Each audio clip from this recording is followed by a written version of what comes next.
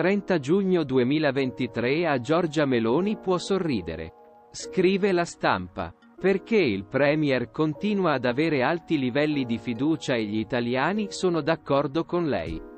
Sull'MES. Alessandra Ghisleri, direttore di Euromedia Reach, presenta i dati dell'ultimo sondaggio secondo il quale per un cittadino su due il governo di Meloni è fermo e compatto. Nato critiche e rischi. Bisogna riconoscere che Giorgia Meloni rimane stabile sopra il 40 nel suo indice di fiducia.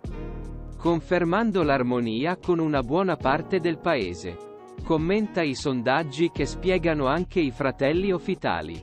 Fino ad oggi, non sembrano mostrare crepe nel consenso raggiungendo le intenzioni voto sempre vicino alla soglia del 30. Fratelli d'Italia mette il turbo e le mosche Partito Democratico surclassato.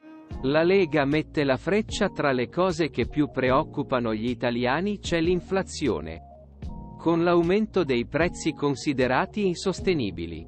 La ratifica della MES la cifra più importante.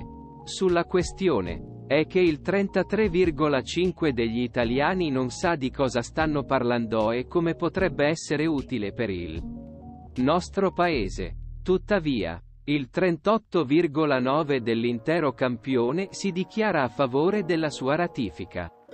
Sondaggio Backfull per il Partito Democratico Schlein in free fall allora Ghisleri parte degli interventi in Parlamento del Premier davanti al Consiglio di Europa. La migliore mossa di mirare a essere protagonisti in Europa sfruttando le difficoltà di paesi come la Germania, che finora hanno dettato il ritmo delle decisioni dell'Unione.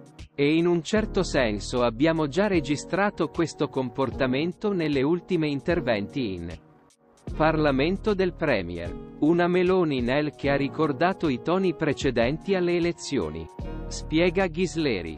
Una Giorgia a cui tutti hanno imparato sapere fino allo scorso anno.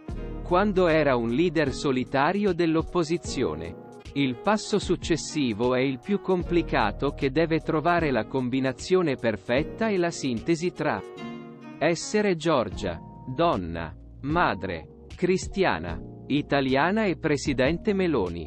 Conclude il sondaggio. Dalla intenzioni voto sondaggio ricerca Euromedia.